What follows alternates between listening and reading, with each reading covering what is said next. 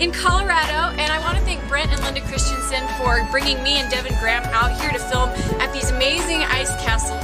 Um, all the information is in the description with their website, and they actually built this. So yeah, they built them for people to come see, so um, you're more than welcome to check them out as well.